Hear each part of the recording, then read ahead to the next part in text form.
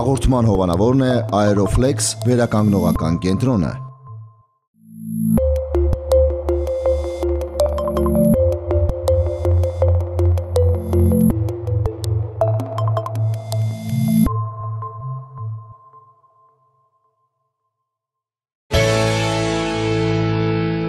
Բարևարգելի հեռուստադիտող կենտրոն հեռուստաընկերության եթերում առողջություն եւ գեղեցկություն հաղորդաշարն է։ Այսօր մենք կզրուցենք հիպերհիդրոզ հիվանդության մասին, որը առատ քրտնարտադրությունն է հատկապես գիշերային ժամերին, իհարկե ցերեկային ժամերին նույնպես դրանք բացառված չեն։ Այս երևույթը կարող է վկայել մի շարք հիվանդությունների արկայության մասին, այն ինքնին չի արտահայտվում։ Հետաքրքիր է, որ այն կարող է նաեւ վկայել քաղցկեղի լիմֆոմայի արկայության մասին օրգանիզմում, ինչպես նաեւ կարող է լինել բազմաթիվ հորմոնալ փոփոխությունների հետ հետևանք։ Եվ այսպես այս հիվանդության հետ կապված մանրամասների եւ բուժման ուղիների մասին մենք կզրուցենք ֆիզիոլոգ Արմինե Գրիգորյանի հետ։ Բարև ձեզ Արմինե։ Բարև ձեզ։ Ընդհանրապես քրտնարտադրությունը նախատեսվում է որպես մեր օրգանիզմի թերմոռեգուլյացիա, այսինքն ջերմակարգավորման մեխանիզմներից որպես կարևորագույն։ Այսինքն տարբեր եղանակային պայմաններում քրտնագեղձերի ծակոտիների չափսերի ղեկավարմամբ մեծանալով, փոքրանալով քրտինքի հետ կամ արտանետվում են, եթե շոկ շոկ եղանակը ավել հեղուկ, որպեսի մաշկը չտաքա քանա, չայրվի, այդ դեպքերում սկսում է առատ հեղուկ դուրս տալ, որpիսի սառի ջերմությունը կարգավորվի։ Այսինքն եթե պարտարական ձևով բացատրենք, այդ ջրի արտանետում այդ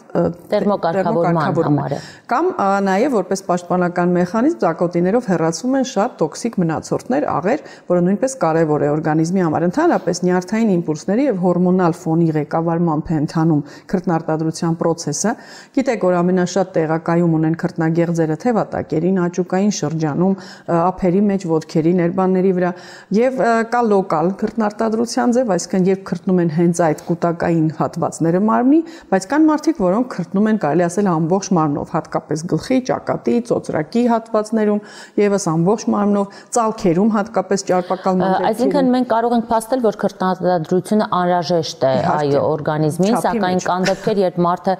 գրեթե չի արել որևէ ֆիզիկական վարժություն, որևէ ծանրաբեռնվածություն, բայց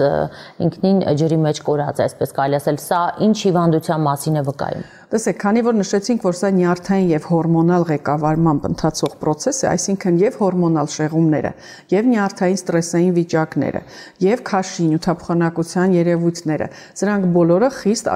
կապված են քրտնարտադրության երևույթի հետ։ Ես նշեմ նաեւ ավելի կարեւորը, որ իմ պրակտիկայում մենք գիտենք հիվանդ ժամանակ ինչպես ենք մրսել անպայման քրտնում, որպեսզի հիվանդությունը դուրս գա։ Առավել հաճախ հանդիպում է նաեւ թոքային անբավարարության դեպքում վիրուսներից հետո մնացորդային, երբ թոքաբորբեր ենք տարել, եւ քանի որ հիմա այսպիսի շատ լուրջ շրջան է, երբ մեծ մասի մոտ կան վիրուսներ, թոքային խնդիրներ, մարդիկ շատ հաճախ մնացորդային որպես երևույթներ ունենում են այ առատ քրտնարտադրություն հիվանդություններից հետո, այսինքն ամբողջությամբ իմունիտետը չի վերականգնվում, այդ պայքարային process-ը դուրս նետման, որը պետք է իրականում թթվածնի հոսքով, քայքայ վերմեզով հեռանար, սկսում այդ արգասիքը մնացորդը առատ դուրս գալ մազանոթների պակասի դեպքում մաշկի ծակոտիներով քրտնագեղձ ձևով։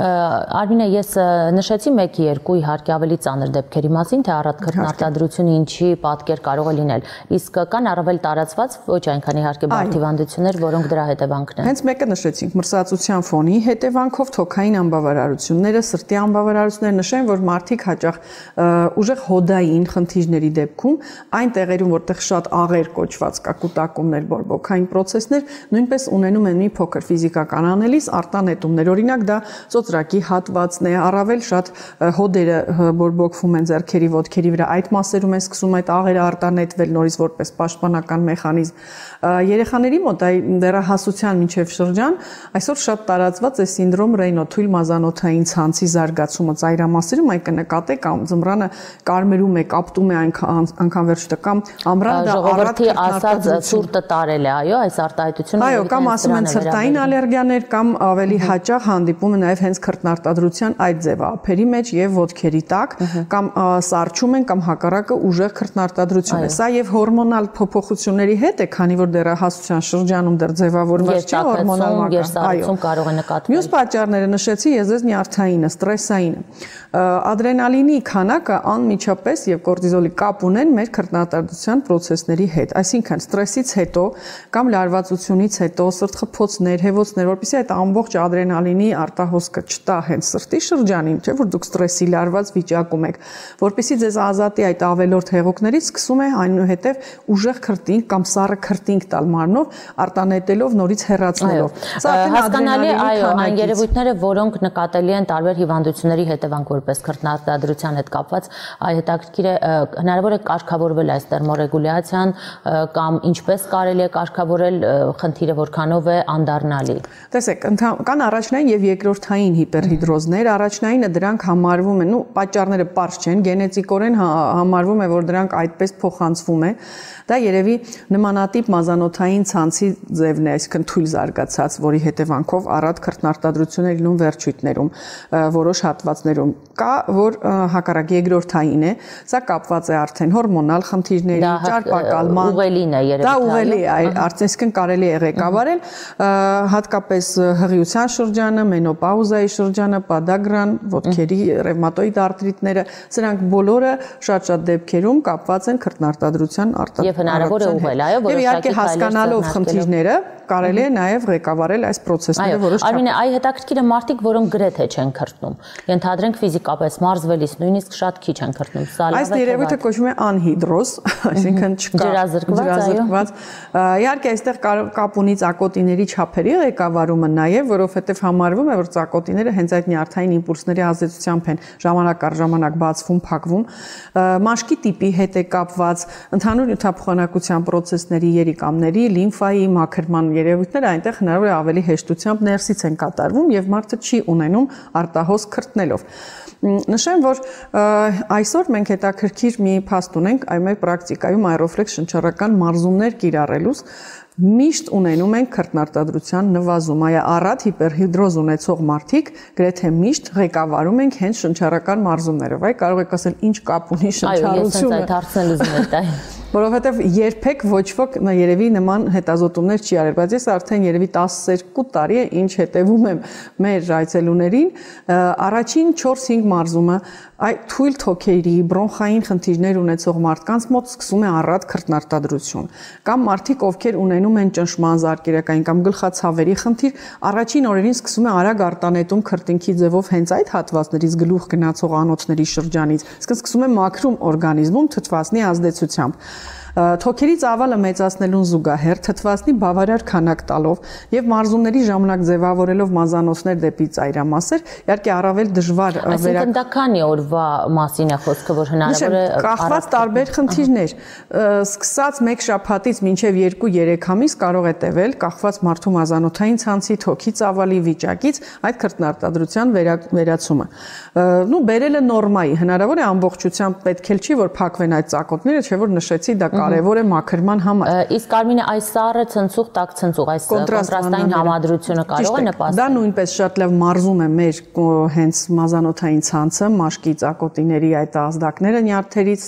եկող եւ դա շատ կարևոր է, որպեսի կոփենք,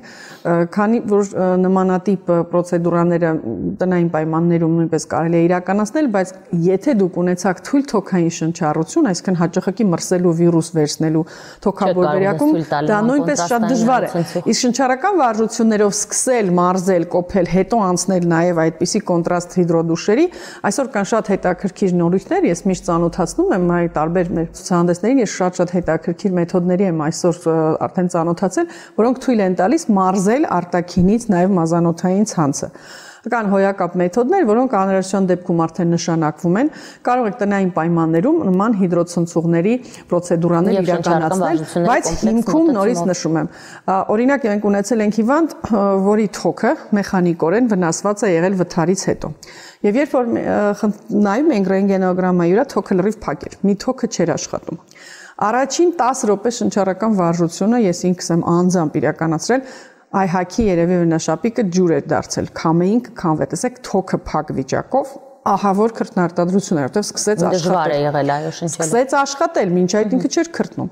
Մեկ շաբաթ հետո թոքը եկավ նորմայի, ռենտգենոգրամայի վրա լրիվ բացված էր, այսինքն ծավալը ալվեոլների լրիվ աշխատեց եւ քրտնարտադրությունը նվազեց։ Այսինքն սովորական ֆիզիկական ակտիվության նմանվող քրտնարտադրություն։ Տեսեք, նման լուրջ խնդրի դեպքում շատ կար ժամանակահատվածում հենց թոքի ծավալը հնարավոր էր բացել ու քրտնարտադրությունը հանել։ Եթե խոսքը վերաբերվում է հորմոնալ շեղումների, քաշի տատանումների, հոդային խնդիրների, որոնք ավելի քրոնիկ են, նրանք մի փոքր ավելի երկար ժամանակ են բնականաբար պահանջում։ Շատ դժվար է նաև գենետիկ այդ առաջնային դեպքերում, հատկապես Ռեյնոյի սինդրոմի ժամանակ, երբ մազանոթները փակ են, բայց նույնպես անհրաժեշտ է մարզել։ Նույնպես կարևոր է թթվածնի հոսք։ Այսինքն դուք նշում եք, որ շնչառական գրագետ վարժություններ մի քանի օր կատարելով կարելի է նվազեցնել նկատելիորեն, այո, քրտնարտադրությունը եւ հետո շարունակելով հնարավոր է վերացնել թե արդեն այլ գործոններ։ Պահպանել ուղակի տեղային մի փոքր օգտագործելով հակապերսպիրանտներ կամ հիմա օրինակ կան նաև շատ բնական մեթոդներ, ոչ միայն ալումինիում քիմիա աղերով անտիպերսպերանտներ, հա, բուժական։ Իհարկե կա քրտնարտադրության վիրահատական մեթոդ, ես դա ուղղակի չեմ ընդունում։ Իհարկե դա հնարավոր է փակել այդ ծորանը, որը արտահոսք է տալիս, բայց այդ դեպքում այդ հեղուկը մի ինչ որ ճանապարհ կգտնի դուրս գալու, այսինքն թևատակերով դուրս գալու տեղ կարելի ավելի տհաճ հատվածում մարմնի տակ քրտնարտադրություն։ Նաև նշեմ հարգելի հեռուստադիտողներ, որ իհարկե դեղատներում այսօր վաճառվում են տարատեսակ լուծումներ առատ քրտնարտադրության դեմ, ինչպես նաև բոտուլո տոքսին ներարկելով նույնպես կարելի է կանխել քրտնարտադրությունը, սակայն շատերը ունեն այդ մտավախությունը, չեն վստահում թերապիայի այս տեսակին, այնպես որ ամենաանվնասը եւ իհարկե նաեւ արդիականը կարելի է համարել այո թթվածնային կոնտրաստ կոփող առողջ ապրելակերպի ծրագրերը, որովհետեւ դա շատ կարեւոր է։ Նաեւ բնականաբար չի կարելի այստեղ չնայել հորմոնալ ֆոնին, դա հիպերթիրեոզն է, հա, վահանաձև գեղձի խնդիրները, շաքարային դիաբետով մարդիկ, սրանք բոլորին պետք է զուգակցաբար, այո, սիրտանոթային խնդիրներով մարդիկ, որոնք մի փոքր շարժում անելիս հեվում են, թուլանում են, թոքային անբավարարություն, բնականաբար նաև քրտնարտադրություն։ Շնորհակալություն Արմինե, շնորհակալություն այ բոլոր մեր հերոստադիտողներին ուշադրության համար, այնպես որ հարգելի հերոստադիտողներ, եթե դուք ձեզ մոտ նկատում եք առատ քրտնարտադրություն, կարելի է սկսել շնչառական վարժություններից, մասնագետը վստահեցնում է, որ այս եղանակով բազմաթիվ հաճախորդներ ունեցել են դրական տեղաշարժ, կարելի է փորձել եւ իհարկե շնչառական վարժությունները բացի այն, որ կարող են կարգավորել ձեր թերմորեգուլյացիան, նաև իհարկե կարող են տալ այլ դրական արդյունք յուրաքանչյուր ձեր օրգան համակարգին։ Շարունակեք հետևել մեր թողարկումներին, մենք կփորձենք ձեզ ներկայացնել հնարավորինս շատ հետաքրքիր փաստեր մեր առողջությանն առնչվող կհանդիպենք։ Հաղորդման հովանավորն է Aeroflex վերականգնողական կենտրոնը։